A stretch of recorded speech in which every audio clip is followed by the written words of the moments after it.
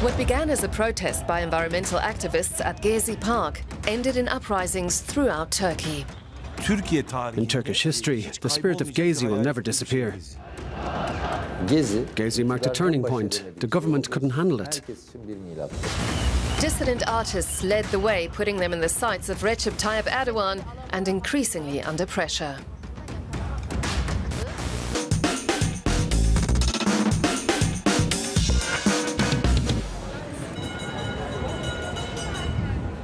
Five artists fighting for freedom and democracy. Barış Atay, O dönemde At the time, I was an actor in television. From 2013, from the Gezi protests onwards, I was unemployed. Cansu Yapıcı's mother was sentenced to 18 years in jail. She's been imprisoned for a year without a shred of evidence. It's a travesty of justice. Cartoonist Tuncay Akgün bir şekilde kendimi yorgun da hissediyorum ama It all makes me tired, but I love my işi work. Aslında çok seviyorum. Film star Memet Ali Alabora Başka bir dünya Another world is possible. It's not a utopian dream. Şey değildir. Sinem Sakaoğlu is a filmmaker. Her colleague Çiğdem Mater received an 18-year prison sentence. Gezi Park wasn't just about the park. We were there to fight for our freedoms. Let's go back to where it all started. Gezi Park, one of the last remaining green spaces in the heart of Istanbul. In 2013, it was supposed to make way for a shopping centre. As an architect, I know how important public spaces like Gezi Park are for a society. They're places of democracy and for the future as well. So I did what I had to as an architect. I defended what is vital for our city, for Istanbul. Tüm aslında mesleğimizin bize öğrettiklerini savunmaya çalıştık. Architects Cansu Yapıcı and her mother Mücella were on the scene as soon as they heard about the demolition work. They wanted to intervene before the government could say it was a done deal. The bulldozers rolled in at night. The very next morning, we went to the site looking for those responsible. Did they have a permit for their midnight operation that we weren't aware of? The excavation had already begun. Do you know how many centuries old trees were lost? The mother and daughter didn't give up. They joined forces with other environmental activists fighting the demolition, and their numbers kept growing. The police used force to try to drive them away, but eventually the protesters gained the upper hand in Gezi Park. The spirit of Gezi was born, defiant and democratic.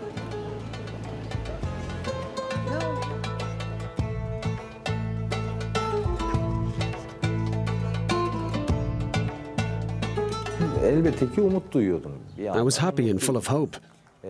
The idea that people from all walks of life had come together to fight for something was quite extraordinary. Mücadele ediyor olması fikri olağanüstü geliyordu.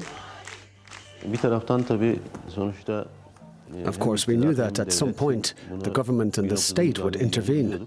Ama yine de Yet it was clear to me that in any case, the spiritual revolution would leave lasting traces. çok kalıcı izler bırakacağını düşündüm. E, o gün orada bir şeyler olduğunu duydum. Beni People called me and said. Something is happening here. Ya gel bak, You have to come. I can't right now, I said. Bir sürü insan var, sendikalar But you absolutely must come, they insisted. So I went. Birçok eyleme gittiğimiz I thought it would be a demonstration like any other. I never expected anything like this. In May 2013, Taksim Square, right next to Gezi Park, was a sea of people. Memet Ali Alabora tweeted euphorically, It's not just about Gezi Park, friend. Haven't you understood? Come over, he posted. At the time, Memet Ali Alabora was a famous star of the stage and screen with millions of fans. So when he joined the Gezi protests, people paid attention. Tamam hadi. Gezi de öyle bir andı. Gezi was a moment in which you could sense that another world is possible. A moment where people treat one another well and have a sense of humour. A moment in which they reveal their creativity and recognize their own power.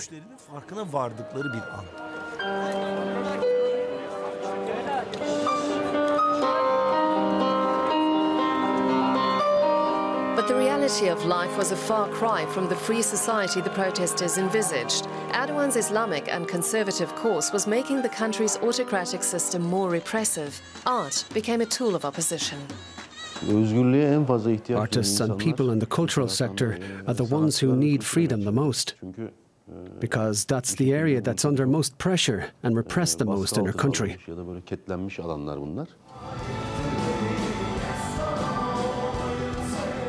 Another prominent voice, musician Barış Atay, who sings about the problems in Turkey and his hopes for the future. Atay came to fame as an actor, yet since the Gezi protests in 2013, he's been offered no more roles in government-funded productions. His off-theatre productions were also subjected to close scrutiny. By trying to take away artistic freedom, you're preventing people from learning about all kinds of social realities. That's why a society without art is not a free society. Tuncay Akgün is a veteran in the fight for a free society. For 40 years, he's headed the satirical magazine LeMan with a rapier wit and courage. He looks back. Humor is the greatest weapon of the weak. It's one of the most powerful tools that can effectively disarm the strongest of opponents. Satire also allows for glimmers of freedom of expression. In contrast, much of the Turkish press has effectively been silenced in recent years. While the Gezi protests were rocking the country, Turkish television showed beauty pageants, and a documentary about penguins, which is why penguins became the mascot of the protest movement. At the Gezi protests, an incredible humour resulted from this incredible collective intelligence on social media and in the slogans. And humour can help to reduce tensions between the fronts, between the resistance and the power clashing with it. Arasındaki gerginliği çok yumuşatan bir şey.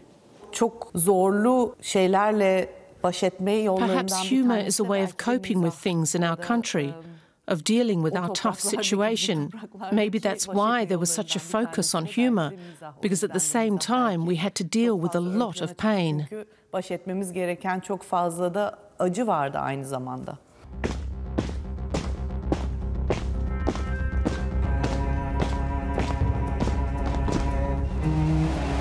Istanbul in the summer of 2013. By now, hundreds of thousands are taking to the streets to demand their rights and the government's resignation. The pressure on Erdogan is growing by the day. Böyle duruyoruz. Normalde We were all standing close together. Normally, you notice when the police are about to use force. But this time it came out of nowhere. Suddenly, they sprayed tear gas. Everyone started running around like mad, and I was all on my own. I really thought I was going to die. The situation escalated. Protests and violent clashes with the police took place across Turkey. Frustrated with Erdogan's decade long rule, millions of demonstrators rose up against his autocratic style of government and his right wing populist AK party.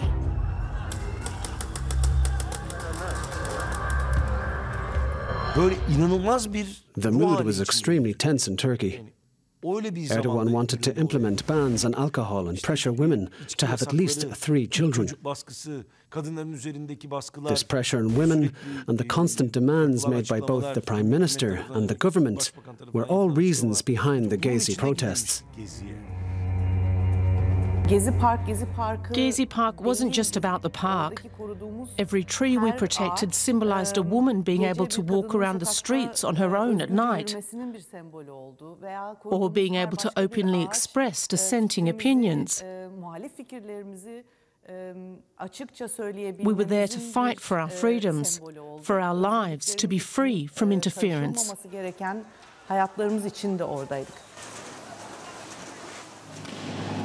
A tide of rage flooded the streets, bringing with it a new self-confidence. We're here, where are you, demonstrators demanded of Erdogan. He remained impassive. Allah aşkına soruyorum. Tayyip Erdoğan diktatörmüş. Yani bu millete hizmetkar olan bir insana eğer diktatör yakıştırmasını yapıyorlarsa buna ben diyecek bir şey.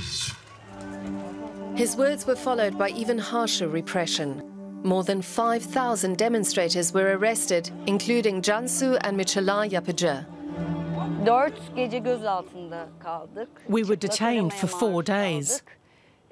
Ondan sonra ben They made us strip naked, then searched us. Annem bir süre örgüt yöneticisi I was acquitted, but my mother was tried in court on charges of leading a terror organization.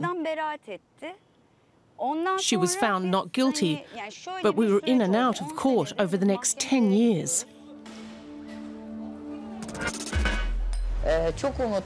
I'm absolutely exhausted, but I still have hope, even if I must die now. Türkiye'de Gezi Gezi marked a turning point for Turkey. Gezi is a milestone because the government couldn't handle it. Herkes için bir milattır. Six people were killed and 8,000 injured. Dozens were blinded by tear gas. The utopia of summer 2013 came to a bitter end. Meanwhile, the government was looking to punish and intimidate those responsible.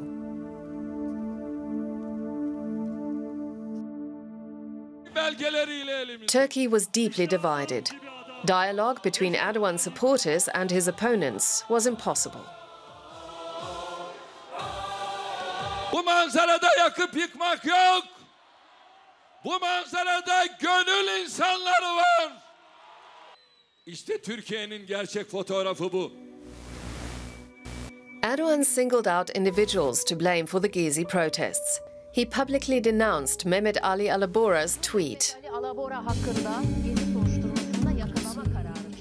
There was more. The government suggested Alabora's 2012 play Mi Minör about a dystopian society and its absurd mechanisms of control rehearsed the uprising and amounted to a guide to a revolution. No coincidence, read the front page of the pro-Erdogan paper Yeni Şafak.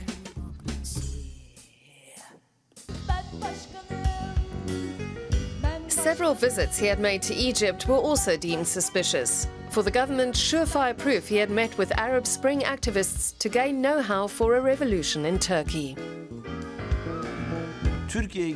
They said I came back to Turkey to train young people in revolution with this play, so I'd been preparing for the Gezi protests for a long time. The allegations put Alabora in danger. He made a public statement questioning if a play could trigger the protests of millions and made light of the absurd accusation. I said, I'd like to thank you for believing the theatre has so much power and that a revolution could be started from the stage and get so many people on the streets. I was being sarcastic, but maybe there's a grain of truth in there, too. Perhaps we theatre people really underestimate ourselves.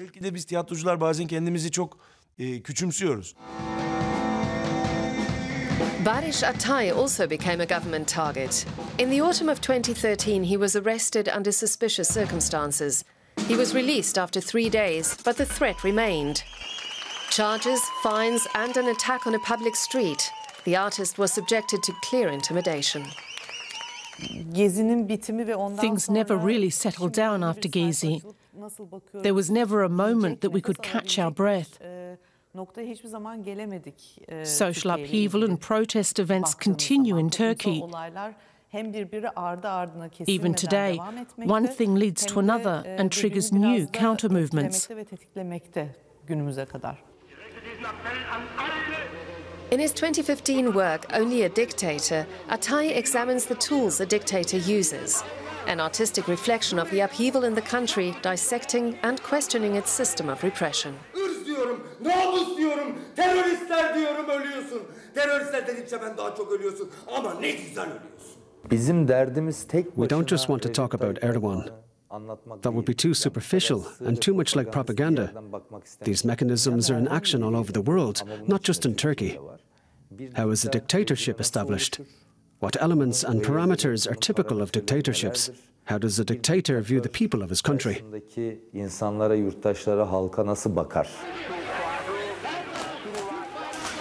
The piece was successful, too successful.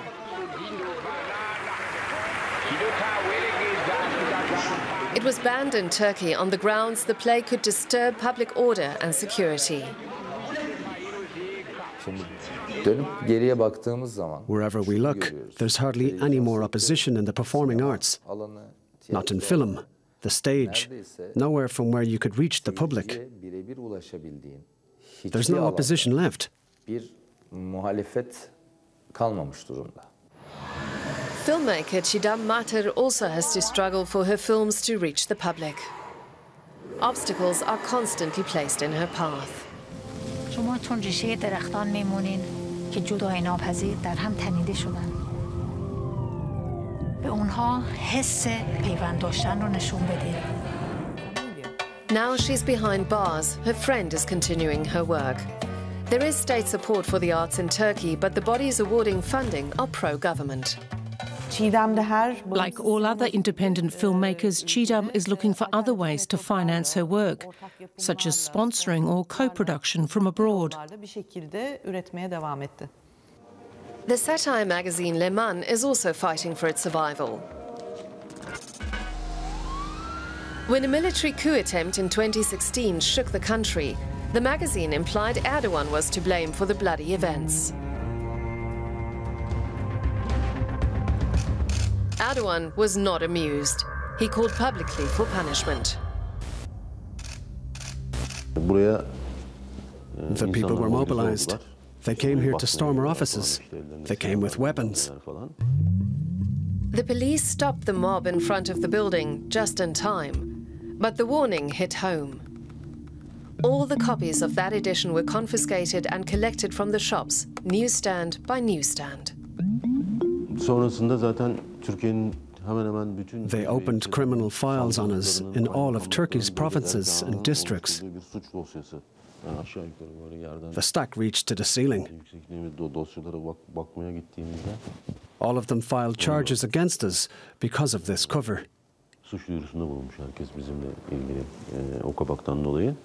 A climate of fear blanketed the country.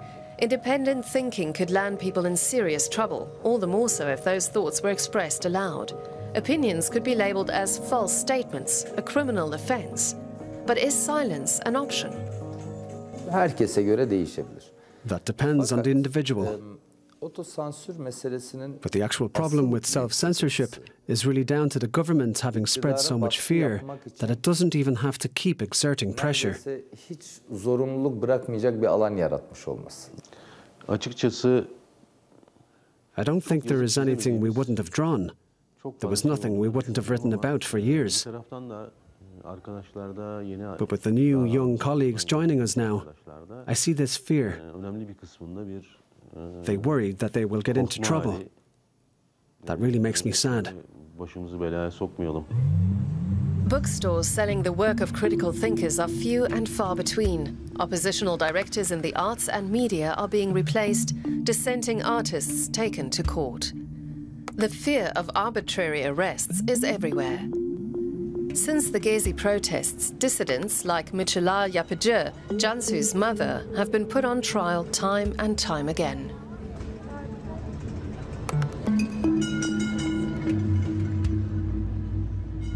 You go through a whole spectrum of emotions. It's extremely stressful. But at some point, you become indifferent. Life goes on. Going to court becomes routine. Other revolutionaries of the Gezi protests who are repeatedly put on trial include, most prominently, Osman Kavala, businessman and patron of the arts. Charged with financing the Gezi protests, the sentence, life imprisonment. 2017 saw him put behind bars. Mücella Yapıcı was at the scene at every single trial protesting. Trial, arrest, release, retrial, a grueling cycle. We were no strangers to the idea of prison. But until now, we had only ever known it as outsiders through the stories we had heard. That was until her mother was sentenced. After several trials, the judiciary bowed to political pressure. She and seven other activists from the Gezi protests were sentenced to 18 years. A show trial and a shock for civil society. Mücella Yapıcı exited the courtroom singing, I Will Survive. Joining her behind bars was filmmaker Çiğdem Mater, convicted for a film about the Gezi movement, a film she never made. She had travelled from abroad for the trial, trusting that the charges would not be legally tenable. Why were these eight people singled out? Why Çiğdem? We don't know the answer. Nobody knows. I read the documents, thousands of pages of documents, and I honestly couldn't find any unifying point because there isn't one. There is simply no basis on which these people were selected. It was a clear attempt to undermine the power of the Gezi movement to rewrite the narrative. Gezi, Türkiye'de 10 milyon Gezi was a popular movement in Turkey. 10 million people took to the streets. But branding it a criminal scheme of an organized movement, that makes it easier to intimidate people and ultimately make them back down. Behind bars, Çiğdem Mater sends letters to her friend Sinem Sakaoğlu with instructions for her films. She, for one, refuses to be silenced. Çiğdem's sentencing was met with shock and dismay in the film world. Cannes, Venice, and Berlin held solidarity rallies.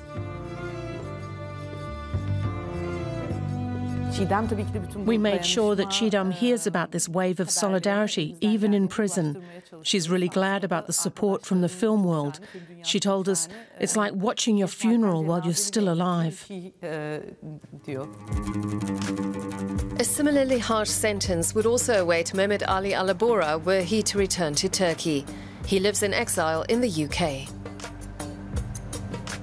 Eylül 2013'te ayrıldım Türkiye'den. I left Turkey in September 2013, partly because I was afraid for my life. And that was not an unfounded fear. But there was also another reason. There was simply no more scope for me professionally in Turkey, no more scope for creativity, no more air to breathe. So I left my home. Countless Turkish artists are now living in exile, much to the detriment of the country's arts and culture. Alabora is trying to start afresh in Britain, but has had to go back to square one in his career. First off, I had to learn to act in a foreign language. I speak English, but I don't relate to the words in the same way. I'd never used English to express myself emotionally, like when you suffer a loss, when a relative of yours dies, when you say I love you, or when you are angry. He has since regained his footing and recently even starred in a BBC television series. And he's an outspoken supporter of refugees.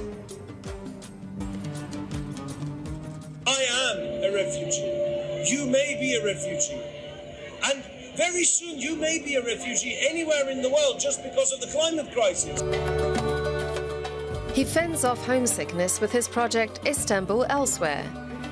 At pop-up gatherings, attendees discuss what it means to come from Istanbul. The group hosts events worldwide, both in person and online. The support group keeps the Turkey he loves alive. Silya'ya, İstanbul'a ve Sicilyalı balıkçılara. İyi akşamlar. Barış Atay has taken a more direct approach. He has left acting behind to challenge Erdogan directly through politics. We agreed that as a political figure within the art community, I should start taking on more responsibility in politics itself. In 2018, he refounded the Workers' Party of Turkey, advocating for minorities and denouncing the government's disaster response after the earthquake. Especially for the younger generation, Barış Atay is a beacon of hope. Although we are all different, we find common ground. We are not homogenous, but we take action together. I think that is what the government is most afraid of.